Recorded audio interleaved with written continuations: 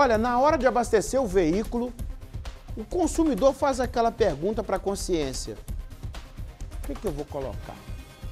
É, a gente pergunta. O, o frentista chega e está falando com quem, senhor? Não, estou conversando com a minha consciência. Aí pergunta para a consciência assim: consciência, é mais vantajoso encher o tanque com etanol? Encher o tanque? É, tudo bem. É mais vantajoso encher o tanque com etanol ou com gasolina? Essa pergunta a consciência não responde nada. A preferência, em muitos casos, é pelo bolso, né? É. Mas também tem aquelas pessoas que gostam do desempenho do veículo com um combustível é. E outros acompanham o que diz o mecânico. É, balança a reportagem. O gasto com combustível é um dos compromissos do mês que mais pesam no bolso do consumidor, já que a maioria dos veículos podem ser abastecidos tanto com álcool quanto com a gasolina. Resta saber como fazer essa escolha. Faço uma média do preço, né, para saber a questão da diferença, para ver quanto eu vou gastar mais e aí acaba que está valendo mais a pena colocar gasolina mesmo.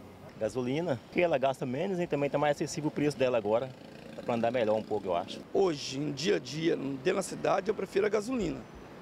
A gasolina que você olha dentro da cidade, então o desgaste de peça é menor, é, você para menos no posto, né? Então é melhor a gasolina. No caso, para quem vai viajar final de semana, quer curtir o feriado, é melhor usar o álcool, né? O álcool na estrada ele tem mais desempenho, é, fica bem mais barato, né? Você encher o tanque. Se tratando pela quilometragem percorrida pela gasolina, ela é 30% mais rentável que o álcool. Se o preço do álcool for 70% o preço da gasolina, vale a pena abastecer com ele. E é na ponta do lápis que dá para calcular.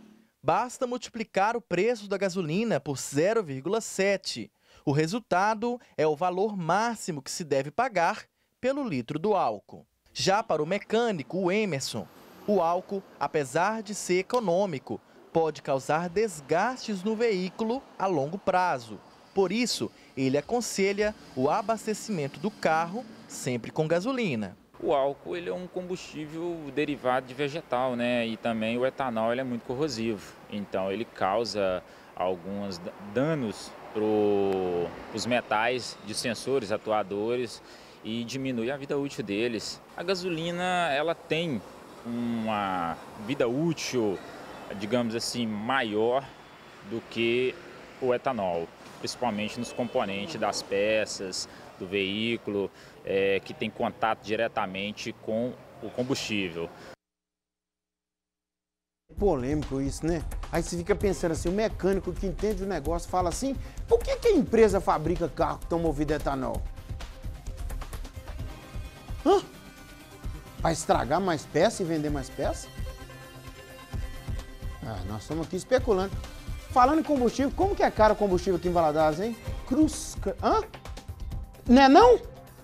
Ah, combustível mais caro que tem, rapaz. Misericórdia. É isso aí já é outro assunto também, né? É.